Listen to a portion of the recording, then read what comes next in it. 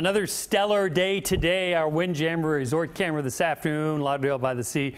There's your proof. It is looking beautiful out there. Few folks at the beach still. A lot of folks uh, on the beach most of the day.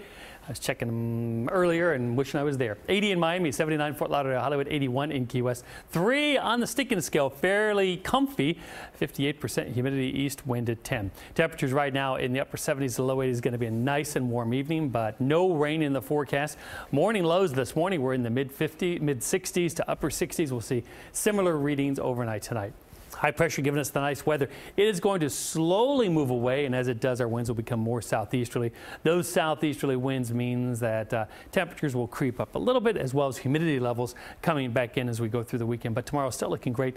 Lots of sun, nice and warm temperatures in the mid 80s for highs. Then on your Sunday, a little more humid as our winds are a little more southerly. The breeze picks up a little bit.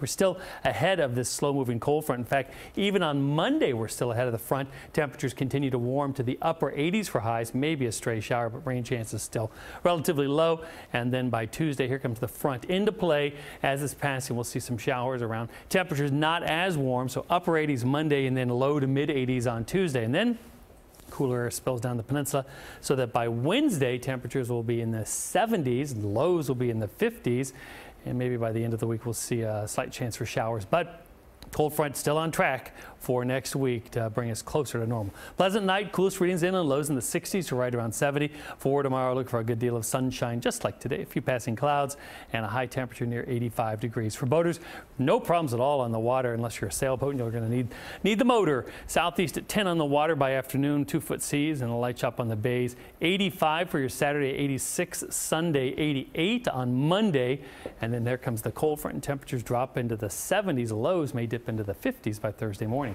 Back to you.